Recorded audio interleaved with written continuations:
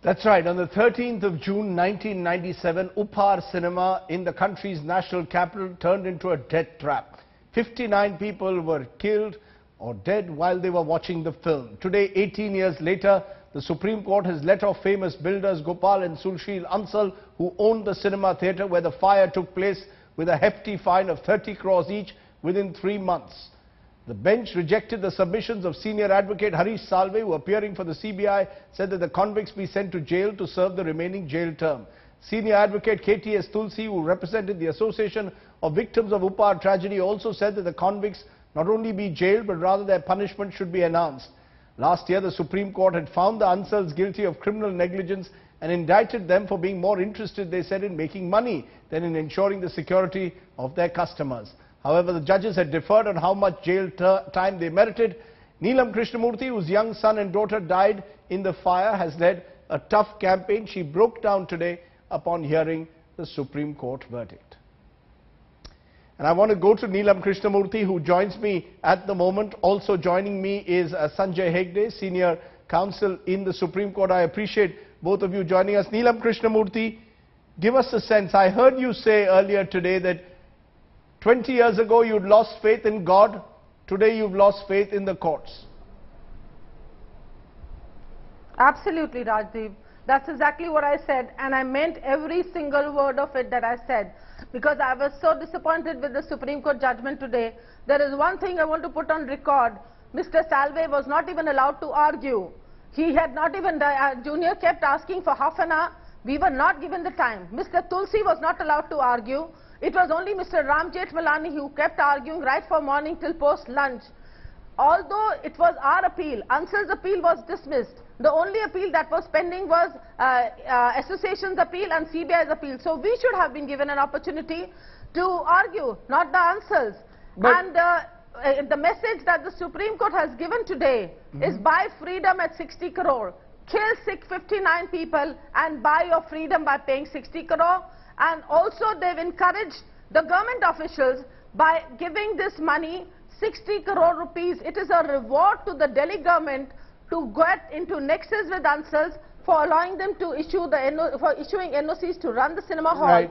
So this will only encourage the corporate sector, a collusion between the corporate sector and the government. So the Delhi government is richer. They've been rewarded for killing 59 Uphaar victims. The Delhi government has something to celebrate about today. You know, I, I can sense your anger, I can sense your emotions. Uh, the fact though, Sanjay Hegde, is the law of torts and negligence in this country has remained underdeveloped. We've rarely seen a case of negligence of this kind of civic negligence, which even then becomes criminal negligence, resulting in long jail terms. So in that sense, have the judges simply followed the law of the land rather than setting a fresh precedent? Well, the judges have more or less gone by past precedent uh, the law of torts is separate. This was a criminal matter. Mm -hmm. In the law of torts, they, uh, a civil suit for damages, uh, if filed and, and takes its own due time during um, through all the courts, we rarely have had damages which actually hurt, which send such a message to people who are negligent or to corporations that are negligent that this is simply not on. Because 60 Where crores is 6 flats for the Ansals, 10 crores a flat, they just they, have to, it's they, 6 crores. They, these, these are what are called flea bites. Now, now, as far as this case, particular case is concerned, we this was the, this was of... in our country. I'm sorry, we don't have plea bargaining in our country. No, they, they, no, no, we're not plea bargaining. We're not plea bargaining. Neelam, I'm entirely on your side. He's the, saying these are flea bites, 60 no, no, crores. But that's, but that's what's happened in the... No, yeah. no, but that's exactly what I'm trying to... I'm not telling you, Sanjay. What yeah. I'm trying to say, that's exactly what's happened in the court. Mr. Ram Jethmalani has succeeded to plea bargain because they're rich and powerful. Can an ordinary person do that? That's what I'm trying to say. It doesn't exist. Why you, should it be allowed? What message are we sending to the society? What's the message that's gone out, Sanjay, today? Is the message that if you are rich and powerful, 18 years the case drags along, at the end of the day, you strike some kind of a deal. 60 crores, 59 people dead. Well, quite frankly, when a judge finally draws down the curtain, he doesn't really intend to send a message. Sometimes it does come into the judicial calculus. Today, Neelam has lost. She's understandably upset. Yesterday, we, we, we had the Nitish Katara case. You see, courts are but imperfect we strive to do justice according to law. and while doing justice according to law, here it is not only the feelings of the victim family or the, uh, the people who have fought so long, so hard, who always succeed. There are, there are uh, at, at, times, as, as Neelam has pointed out, there are people who drag out the process, who drag it out to such a stage where they can finally claim, look, we are too old to be punished. We can, we, uh, as an alternative, Rajiv, can we not can be I- Can, can- can I, can I ask you, Neelam Krishnamurthy, what is it that you would like to therefore tell the Ansals or those today who you feel have failed you when it comes to justice? I can only tell them they've succeeded in their mission. That was their mission right from the beginning. That after killing our children, they dragged on this matter. And the, even the Supreme Court has considered a prolonged trial as one of the mitigating factor for reducing the sentence. What the Supreme Court seems to be forgetting, what the point Mr. Tulsi was trying to make was that the prolonged trial was due to Ansals. It was the association which went to the High Court umpteen times to get orders for expeditious trial. That's how the trial got over in 10 years. Then we came to the Supreme Court, we got the bail cancelled. And Ansals, lawyer Mr. Jethmalani argued that matter, the entire matter was over in 26 hearings. And Jethmalani argued only for four days. In the Supreme Court, Mr. Jethmalani took eight adjournments between 2010 and 2012, which were granted to him by the Supreme Court. And then he argues for one full year. And it's come in the order that Mr. Jethmalani has argued extensively for months. Mr. Salve was given two days, Mr. Tulsi was given two days. I want to know who's responsible for this delay. And then the judges kept the judgment pending. The, the judgment was reserved and the judgment was delivered only after one year. And then my matter is not listed for 17 months for sentencing. I have to go and plead. I have to move three applications for early hearing for early hearing. Have in the Chief Justice Court. I get this hearing in three times until come and ask for adjournment. Who's responsible? Ma'am, I'm- I'm going to ask you- system is only for the rich and powerful. Ma'am, ma'am, you're not just a petitioner, you're a mother today. Do you feel, therefore, that the fight has not been worth Yeah. it? Do you feel the fight has not been worth it, ma'am? Definitely not. No, Rajdeep, today I regret my decision of going to the courts for seeking justice.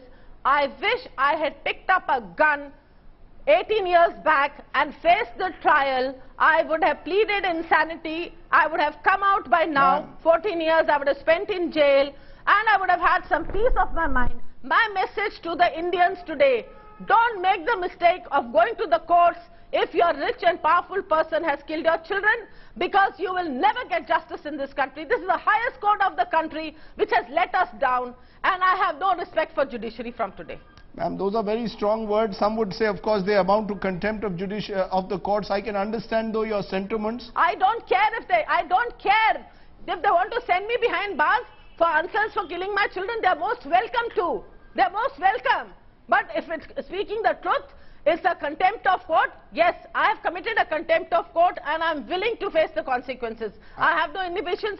Whatever I'm saying, it's a very conscious decision. What I have faced, I'm saying, and I have no problem. I- World over, let the people know how the Indian judiciary functions. I understand your sentiments. I'm just going to give you a final word, Sanjay.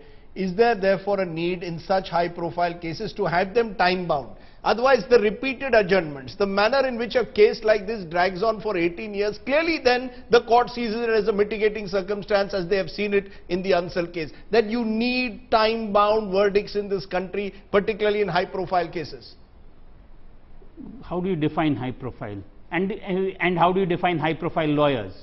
Here was, quite frankly, Ram Jethmalani has been pulling this matter along. He's been telling judges that I'm 93, this is a swan song, and he, uh, and he has pulled it continually. The- Some judge has to I- I- stop it. some- Some judge has to say enough is enough. often finding punishment that fits the crime is the toughest task of being a judge.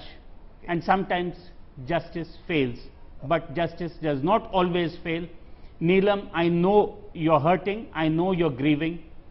I, you have my full sympathy, you have my full support. But But, but the No, I system, thank there you is, for that. I there have is nothing good in the you. system and it is worth fighting for. Let's, let's leave it at that. Ma'am, you are a very brave woman. 18 years of my this. Ma'am, you are a good. very brave woman. Please do not No, see I- your today fight I'm as shattered. having been Rajdeep, fruitless. Rajdeep, today I'm shattered.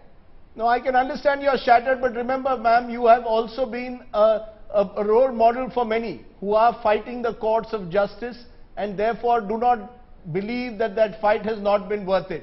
So please keep faith, at least in No, your Rajiv, fight. I failed. I failed towards my children today.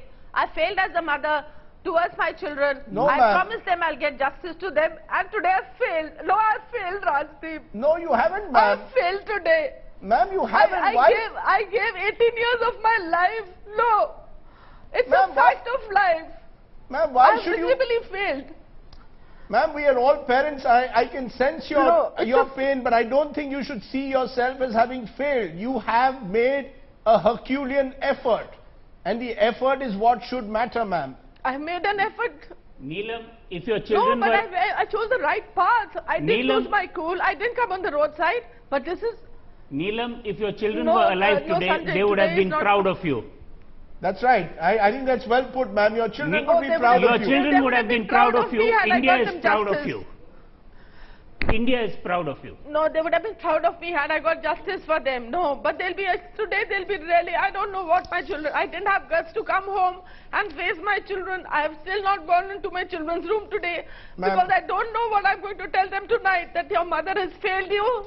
Ma'am, your mother has not, I mean, their mother I, has not failed. Let's- Ma'am, ma'am, their mother has not failed, failed them. No. The fact is, the fact is that at the end of the day, you have, as I said, become a symbol of the fight for justice for the common person. Let's leave it at that, ma'am.